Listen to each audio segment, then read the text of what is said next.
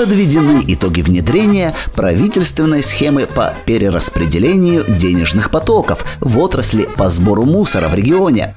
Члены общественного совета по вопросам ЖКХ при администрации Петрозаводска, пораженные эффективностью схемы, направили городским властям обращение с просьбой прибраться в сфере, где начал действовать региональный оператор по вывозу твердых коммунальных отходов ООО «Автоспецтранс». Жители города не могут молча наблюдать, как в угоду непонятно чьим амбициям и в чьих интересах необоснованно задираются тарифы, не выполняются элементарные обязанности по уборке городских точек сбора мусора. Тому, кто это придумал, надо в голову гвоздь забить.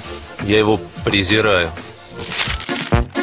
Общественники полагают, управляющая контора без ресурсов и собственной техники на балансе в качестве надстройки над предприятиями, реально вывозящими коммунальные отходы, это неизбежное удорожание услуги для населения.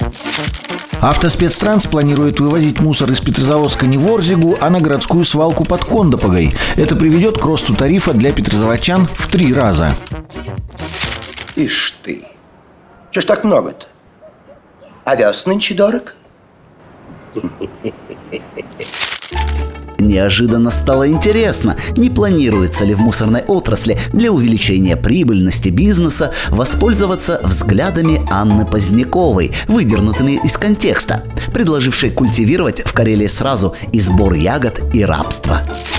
Мы бригады постоянно не формируем ни в Карелии, ни где в другом месте, которая, грубо говоря, за 20 тысяч рублей будет сутками напролет жить и собирать ягоды в лесу за эти деньги. Выгоднее привести тайцев, выгоднее. О нет, я не Негоро. Я капитан Себастьян Перейра, торговец черным деревом, негоциант.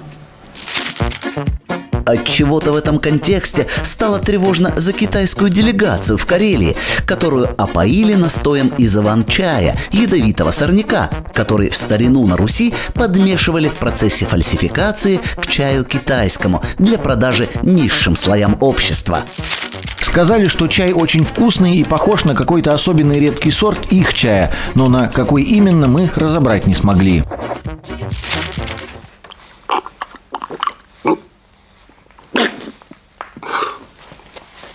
Это что такое? Вода.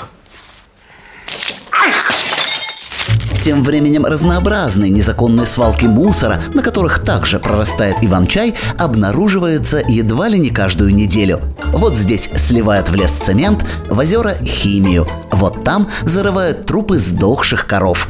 9% убранных свалок в квартал – не результат. Сейчас на территории Карелии порядка 150 незаконных свалок. Злые языки утверждают, что автоспецтранс не ликвидировал ни одной из них. Это не так. В течение трех месяцев мы вывезли шесть. С чем приехали, с тем и уехали. А в других отрядах? Что не день 100 грамм, что не день 100 грамм, а то и 150. Выступления в СМИ директора ООО «Автоспецтранс» находят живой отклик у жителей Карелии. Импонирует, когда откровенно объясняют, что выбора никакого нет. Мы заставим работать по нашим правилам.